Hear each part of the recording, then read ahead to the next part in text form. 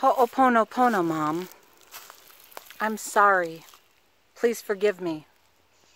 Thank you. I love you. I am so grateful, Mom. Thank you, thank you, thank you. Continuous prayers for your immediate healing and the starships.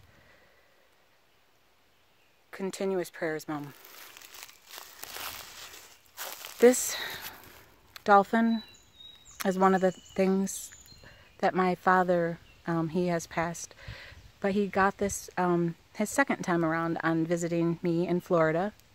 The first time was in 1994. I was 19 years old and I had left Michigan um, with someone 38 years my senior. Nobody understood this move, but that wasn't for them to understand.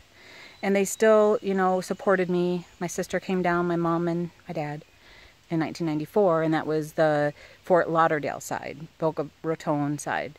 Uh, Margate is where I actually lived. Um, and then when Sienna was born, 2006, um, they came down and, and he bought this at the flea market.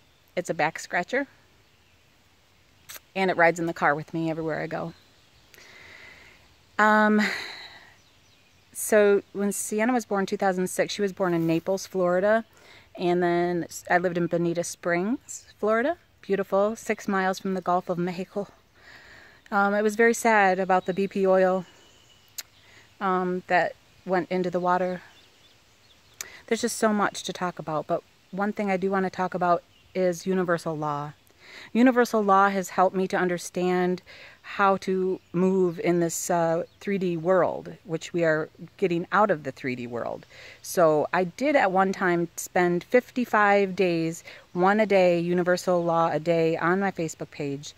But you know, you can do your own research, and it, it, all of them, like 50 of them at least, should be right there when you um, look it up, research it.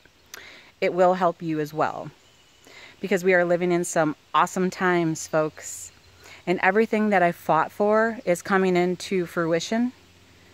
And it's amazing. Thank you for the monarch butterfly this morning, Mom. As soon as I walked out to 3D, monarch butterfly and the Penske um, moving, huge moving truck right in front of my eyes at the four-way stop. I'm like, okay. Um, and so, um, what else did I want to say? Oh, I wanted to say this to my the wolf pack from where my, I grew up in the hometown. We all had the same mu music teacher in Daisy Brook Elementary, and then we had the same teacher in middle school, Miss Homeshire. And so we all had music, but some of us chose to be a musical theater and some didn't. And I did. Um, but we all learned the song, The Rainbow Connection, The Lovers, the Dreamers, and Me. This is for real. I hope you find the Rainbow Connection. LoveIsOne.org is a summer solstice launch party for the Crystal Schools for Children. If you, you know, feel inclined to want to make a difference in the world, a better difference in the, this world, I highly encourage you to uh, join us on Sunday, 4 p.m. Mountain Time. Love is One. Because, Mom, you are my sunshine, my only sunshine. You make me happy when skies are gray. You never know, dear, how much I love you. Please don't take my sunshine away. I love you, Mom. Peace and aloha. Bye for now.